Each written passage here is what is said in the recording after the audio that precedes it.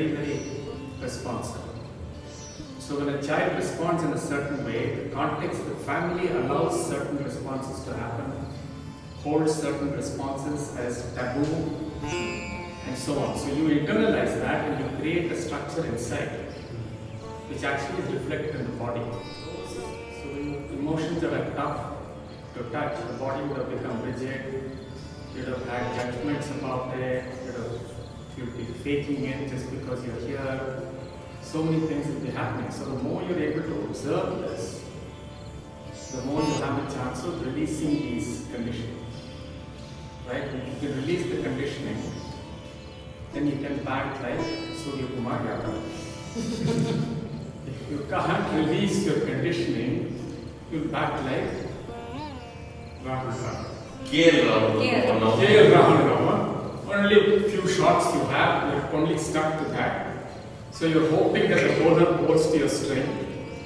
And you can't stand there just really receiving, waiting for the word to come up, and you know you can respond in perfect. Because Shaantam doesn't mean peace, by the way, it's translated back as peace. Shaantam is that, that's why we call it the lake of Shaantam. It's a pregnant possibility. But it's quiet, silent, balanced, calm, but pregnant with possibilities. So you can be absolutely sensitive, know exactly what is the quality of the trigger and make choices. How do I want to respond? Yeah, maybe I want to duck this ball and it go. Maybe I want to hit something else, but it's completely under my choice. Right? I'm not under the choice of the. I'm not triggered by.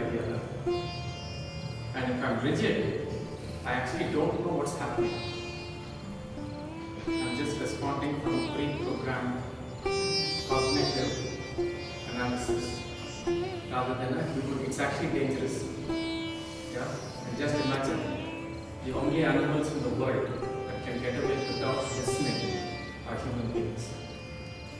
Because you're so you can live in packages, you can live in safe spaces. No animal can get away without listening. If it doesn't listen, it's dead. Yeah.